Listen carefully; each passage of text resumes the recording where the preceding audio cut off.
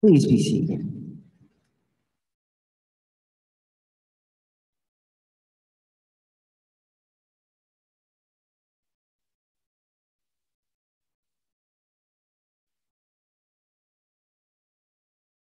The storm inside of us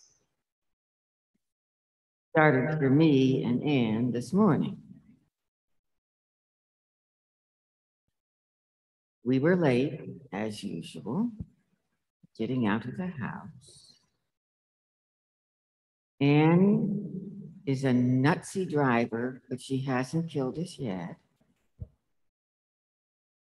She was navigating around duck boats. Smile, it's okay. Uh, but she got us here safely. And I came into the church realizing that I had forgotten my glasses. And if I couldn't see the gospel, I couldn't see the sermon. And Amy came into the sacristy and saw me stiff.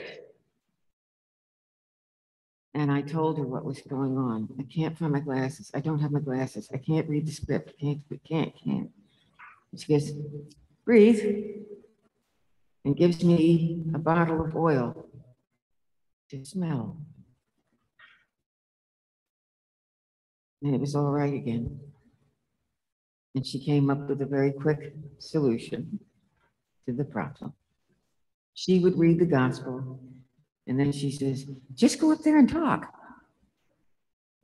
You can't do that.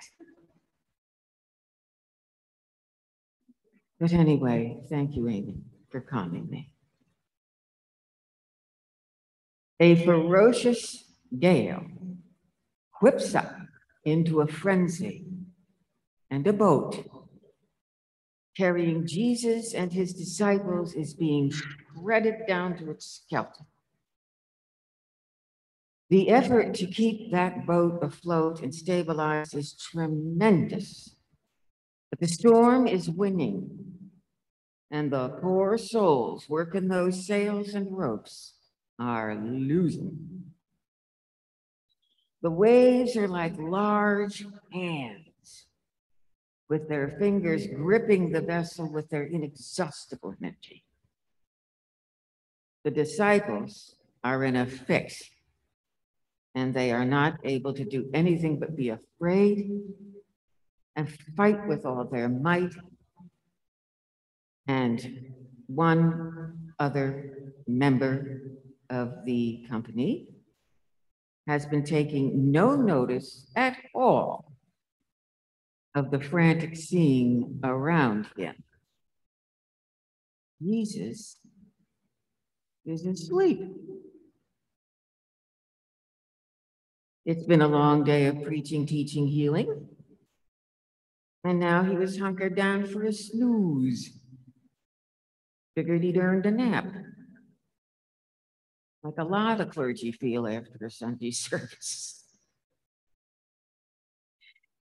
The disciples had wriggled through plenty since meeting this man of mysterious gifts. They survived hysterical crowds crushing in on them, trying to get at their Lord and Master. They've escaped angry mobs, the law, and uncertainty about what they would eat or where they would sleep. The fishers among them certainly experienced the wild moods of the sea and lived to talk about it. They were very experienced. But this doozy of a storm seems to have been like no other in their lives.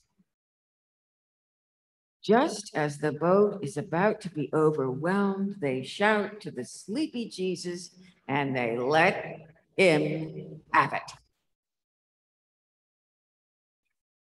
Well, Mr. Miracle, you can see what's happening around us, right? Right? We're going to keel over any minute. Don't you care? I'm paraphrasing.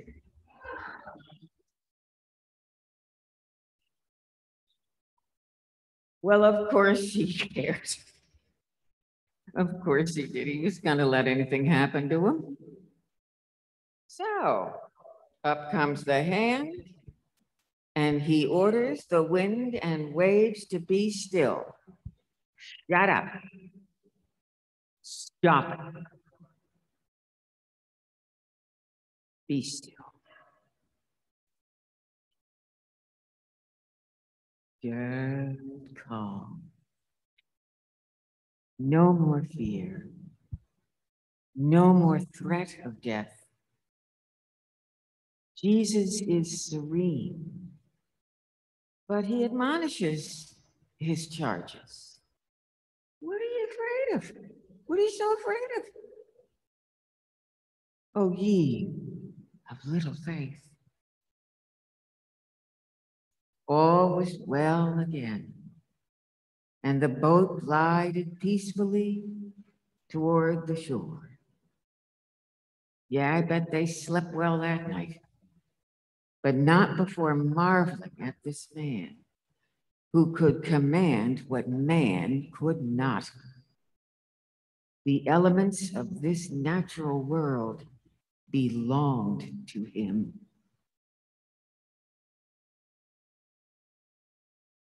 Some natural storms of this world, as we know, have wiped out so much real estate and a mass of humanity with them. God's omnipresent power gives the world's natural elements free will too. But there are storms inside of us. There are predicaments, stumbling blocks, misunderstandings, breakups, and 15 months of isolation that has produced high levels of anxiety in many of us. Now, as the world opens up for business, free trade, and commerce again, there is the fear of going back to work in a building with people. I'm telling you, I, I know a handful of people that are a little nervous about this. And if I wasn't retired, I'd be hysterical. I retired at just the right time, Lord. Thank you. Reentry is going to be hard for a while. Those are some storms that I can think of right off the bat, and I bet you can think of some too. St. Paul has something to say about those storms in us. He writes to the church in Corinth that he and others who witnessed to the world about the saving power of Jesus Christ have endured storm after storm coming from the cruelty of others. And they came out alive every time more determined than ever to tell the world that it can be saved eternally, loved eternally, and be in the company of a loving and forgiving God eternally.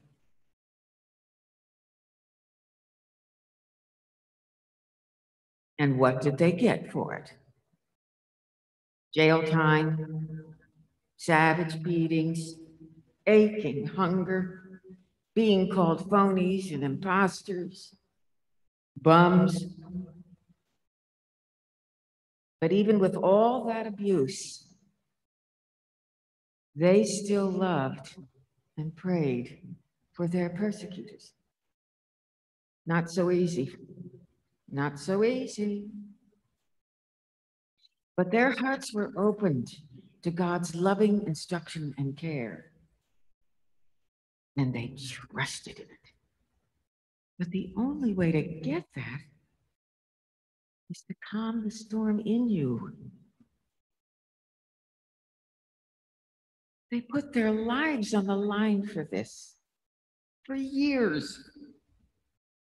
God strengthened them even more. God gave them the increase and on they went despite the dangers. That's how Jesus stilled the storm. He believed on his Father. I suppose if you're the Son of God, it is a little easier to believe that God will save you. He knew God could and would save his little band of friends and others in other boats near them. And they would live to make known God another day. But later on in his life, he too would feel the flicker of fear as he faced his own violent death. He knew exactly what was going to happen and how. Did he feel a little fear in the Garden of Gethsemane? Did he wish for just a second? He didn't have to do this until the storm inside him was calmed by the Holy Spirit, which is his Father. And he went on.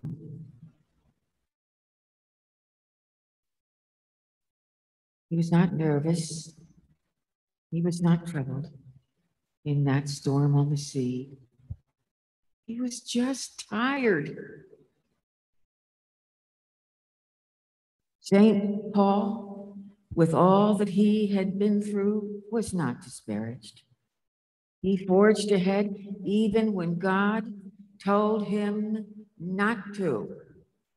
Yes, there is an account of Paul being warned by God in a dream not to go into a particular region.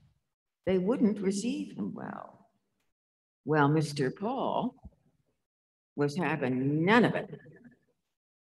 And he went, and once again, he was brutally beaten, attacked, and came out barely alive, lying in a ditch. And God picked him up. I told you.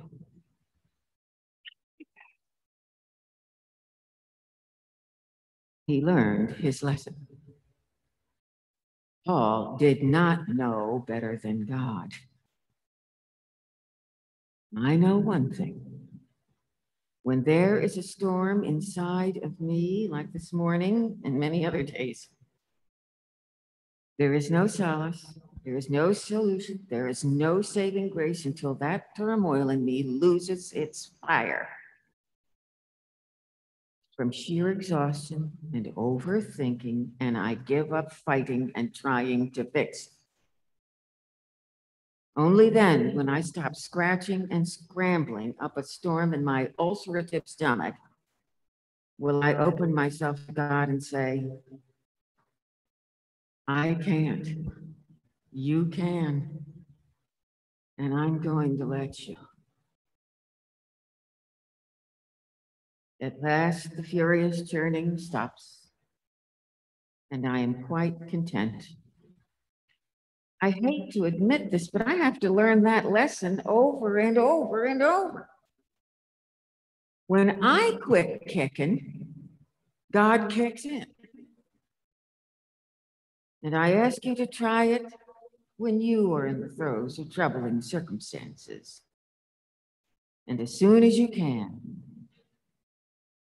Open up by lifting your trouble to God's hands. Just make that gesture like the Quakers do. Up. I'm having a fit. Something's really terrible. I can't, I don't know what to do. Here. And then go like this and bring them down. And you have handed it off to God. And then be patient salvation will come. And we will not be people of little faith. We don't want to be people of little faith. That's why we're here. We will be saved from our distress over and over again. Amen.